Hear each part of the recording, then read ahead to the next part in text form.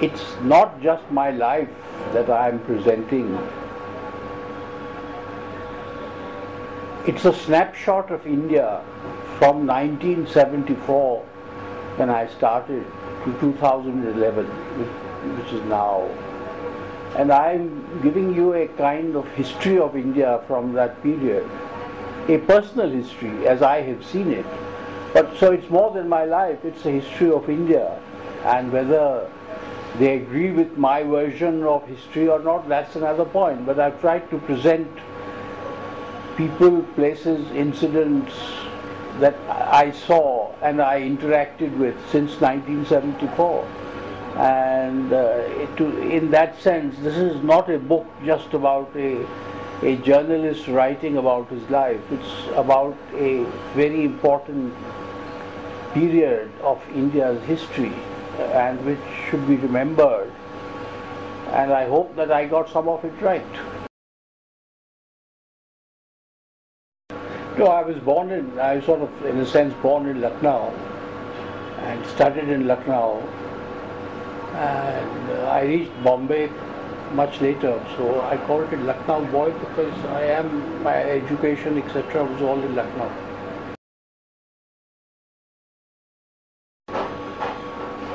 Well, it, these things are never easy, but if you're writing a memoir, then you have to tell the story of your life and you must tell it in its entirety, the good and the bad, and uh, so you, ha- you, you can't hold anything back, otherwise, it's half the story. No, no, I made sure that everything that I wanted to put in my memoirs, I did put in my memoirs. I didn't there were so many other things but which were not important. The more important things I put in my memoirs. Well, I've been here for 17 years, and I think the main reason is the fact that I got the kind of editorial freedom which I didn't get elsewhere, so I lasted so long because uh, I was allowed to do my work and uh, allowed to produce a magazine uh, according to the, what I thought was right and what my colleagues on the staff thought was right. And there was very little or almost no interference from the proprietors. Well, I, I, I, I told the magazine Congress was mostly about the management side of things and not the editorial, uh, but I, I wasn't invited. No, I'm getting, I'm too old now. I've done uh, one, two, three, three daily newspapers, and now I don't want to do anything new. I've, uh, I've reached the end of my career. So I just want to fade away quietly.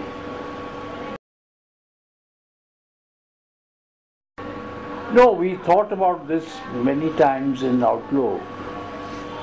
And nobody in Outlook, including the proprietor, was very interested in television. Simply because television, there were so many other people in television, there are already about 300 news channels so we felt that we couldn't provide anything new or different. And we were quite happy with print. And since I'm mostly interested in print, I didn't show any great interest. Neither did the owners to get into television.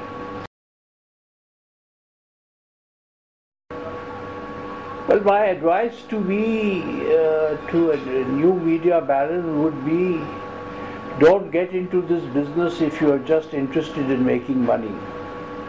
Uh, this is a business where, of course, profits are important, uh, but this goes beyond profit. So, if you have any kind of commitment to the country, and if you can withstand occasionally some losses even to your investment, then get into the business. But if you are getting into the business because you think uh, there are profits, or you think that you will have great political clout in the government, etc., then those are all the wrong reasons for getting into publishing. Well, be good at your job. I think that's very important.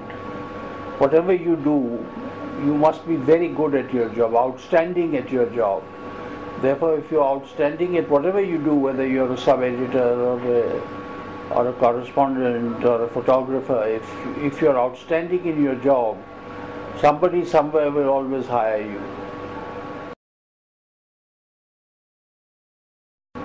No, that was just the beginning of my career, and I I wouldn't uh, like to go back there. But I mean, the seven eight years that I spent there uh, were very interesting, and I learnt a lot in that period.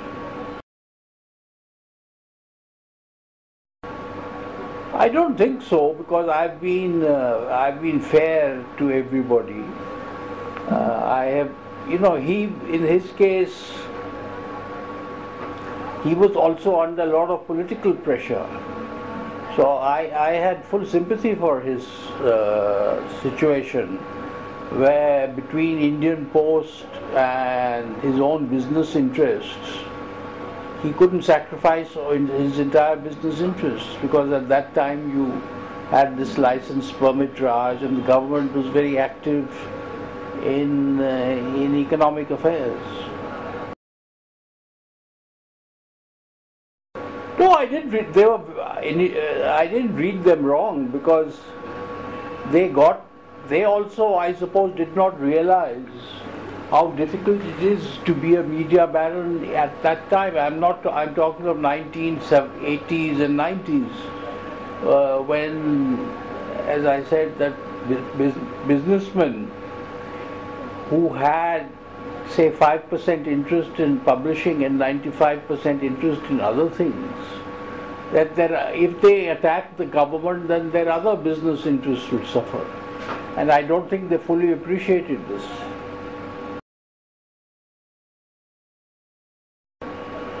I think there are, there are always some regrets, some things that you should have done and you didn't do. But by and large, I think I have uh, I have played it by the book, as I say, and I have, I have no regrets. No, I think life has been very fair with me. Yes, I think there there is some need for self-regulation. There is some need for accountability.